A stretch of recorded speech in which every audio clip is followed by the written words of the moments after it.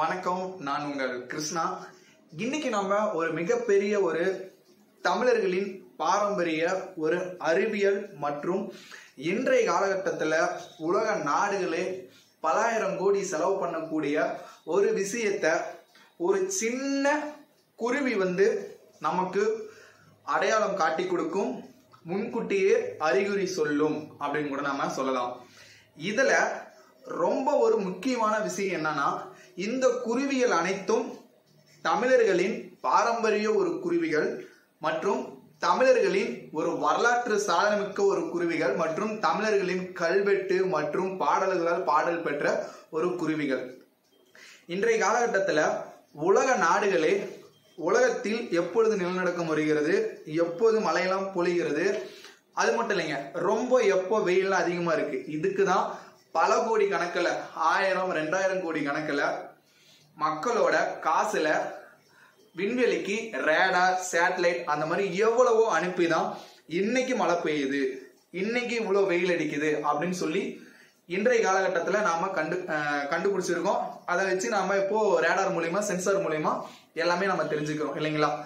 ஆனால் ஆயிரம் இரண்டாயிரம் மூன்றாயிரம் இந்த மாதிரி நம்மளுடைய தமிழர்களின் பூர்வகுடி கால காலகட்டத்தில் அவங்க என்ன பண்ணாங்க அப்படின்னு சொல்லி பார்த்தீங்கன்னா தமிழர்களின் பாரம்பரிய குருவியான தூக்கணாங்குருவி கூடு அதாவது பார்த்தீங்கன்னா இன்னைக்கு வந்து பார்த்தீங்கன்னா எந்திரன் படம் டூவில் கூட நானூறு கோடி பக்கமாக ஒரு இரநூறு கோடி பக்கமாக ஒரு செலவு பண்ணி எடுத்தாலும் அதோட கான்செப்ட் ஒரு குருவியை காப்பாற்றணும் அப்படின்னு சொல்லி தான் இல்லைங்களா? அதே மாதிரி தான் இன்றைக்கு நம்மளுடைய குருவிகள் எல்லாமே அழிஞ்சு வருது. அதனால இந்த வீடியோ நான் போடணும் அப்படின்னு சொல்லி நான் ஆசைப்பட்டேன். நம்மளுடைய தூக்கலாம் குருவி கூடு அதாவது பார்த்தீங்கன்னா பனை மரத்தில் வேப்ப மரத்தில் நம்மளுடைய தமிழ் மரத்துல கட்டக்கூடிய தூக்கணங்குருவி கூட என்ன பண்ணுச்சுங்கன்னா ஒரு ஆயிரம் வருடம் இல்லைங்க. அதோட பழக்கம் என்னன்னா ஒரு மிகப்பெரிய ஒரு அடைமலை ஒரு மிகப்பெரிய ஒரு வெள்ளப்பெருக்கு அல்லது ஒரு மிகப்பெரிய ஒரு புயல் வருது அப்படின்னா அந்த தூக்கணங்குருவி என்ன பண்ணுன்னு சொல்லி பார்த்தீங்கன்னா வடக்கு நோக்கி தன்னுடைய கூட்டின் முகவாயில் அதாவது பாத்தீங்கன்னா வடக்கு நோக்கி அந்த குருவியோட வாசப்படி இருந்துச்சுன்னா அந்த வருஷம் ஃபுல்லா கடுமையான வறட்சி இருக்குங்க. அதாவது பார்த்தீங்கன்னா அதிக வெயில் அடிக்கும்னு சொல்லலாம். சரிங்க. அதே தூக்கணாங்குருவி ஒருவேளை தெற்கு நோக்கி அதாவது பார்த்தீங்கன்னா நம்மளுடைய தமிழகத்துல மிகவும் அதிக மழை தரக்கூடிய பகுதி தான் நம்மளுடைய தென்மேற்கு பருவக்காற்றுன்னு கூட நம்ம சொல்லலாம். அந்த தூக்குணாங்குருவியின் அதாவது முகவாயில் அதாவது பார்த்தீங்கன்னா வாசப்படி ஒரு கூட்டுல இருந்து தெற்க பார்த்த மாதிரி கட்டுனுச்சுன்னா மிக அதிக கனமழை பெய்யும் அடைமழை பெய்யும் கூட சொல்லலாம். ஸோ அந்த காலத்துல தமிழர்கள் என்ன பண்ணாங்கன்னா இப்போ நம்ம கோடிக்கணக்கில் செலவு பண்ணி அனுப்பின அந்த ரேடாரை விட அந்த குருவியோட கூட்டை பார்த்து தான் இன்னைக்கு மழை பெய்யும். இன்னைக்கு மழை பெய்யாது. இந்த வருடத்துல வறட்சி இருக்கும். இந்த வருடத்துல வறட்சி இருக்காதுன்னு சொல்லி ஒரு தூக்கணாங்குருவியோட கூட்டோட வளர்ச்சி வச்சு நம்ம கண்டுபிடிச்சாங்க. அதாவது வடக்க பார்த்த மாதிரி இருந்துச்சுங்கன்னா வறட்சி காலமும் தெற்க பார்த்த மாதிரி அந்த குருவியோட காலம் இருந்துச்சுன்னா அதாவது பார்த்தீங்கன்னா மாசப்படி இருந்துச்சுன்னா அது வந்து மிக கடுமையான மழை பெய்யும் அப்படின்னு சொல்லிட்டு நம்மளுடைய தமிழர்கள் வந்து பார்த்தீங்கன்னா வெள்ளாமை செஞ்சு வந்தாங்க. பாரம்பரிய பயிர் வகைகள்லாம் பூமியில போட்டு இந்த இடத்த வந்து மழை பெய்யும். ஸோ இந்த வருஷம் மழை பெய்யாது. நாம வந்து இவ்வளவு வறட்சி காலத்துல இந்த மாதிரி எதுவும் பண்ணக்கூடாது அப்படின்னு சொல்லி முன்கூட்டியே அறிஞ்சாங்க இல்லைங்களா? சரி ஓகேங்க. இதுல காக்காவுக்கு மிகப்பெரிய ஒரு பங்கு இருக்குங்க. இன்றைய காலகட்டத்தில் காக்கா வந்து ஒரு சகனமா மாத்திட்டாங்க. அதாவது பாத்தீங்கன்னா ஒரு எப்படி சொல்றது? ஒரு மூட நம்பிக்கை காக்கா கத்தனா ஃப்ரெண்ட்ஸுங்க வருவாங்க. காக்கா கத்தனா எப்படி சொல்றது? சொந்தக்காரங்க வருவாங்க அந்த மாதிரிலாம் சொல்லுவாங்க. காக்காவுக்கு சோறு வைக்கணும் இந்த மாதிரி. எல்லா உயிரினும் குருவிகளுமே இந்த காலத்துல இருந்து சோறு வைக்கலாம். குறிப்பாக இந்த வெயில் காலத்தில் உங்கள் வீட்டில் முடிஞ்ச ஒரு கப்பு தண்ணி கூட வைக்கலாம் அது தப்பு இல்லை.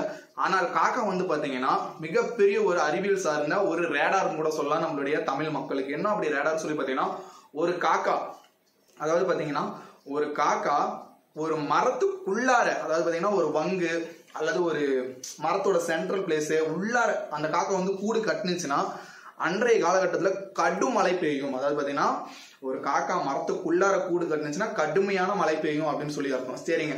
அப்போ காக்கா வந்து வெளியில அதாவது பார்த்தீங்கன்னா ஒரு மேலோட்டமா ஒரு தென்னை மரத்துல அல்லது மேலோட்டமா ஒரு கூடு கட்டுனுச்சுன்னா அந்த காலம் வறட்சி காலம் மழை வந்து அவ்வளோக்கு பொழியாது அப்படின்னு சொல்லி நம்மளுடைய தமிழர்கள் வந்து ரொம்ப அழகா சொல்லியிருந்தாங்க.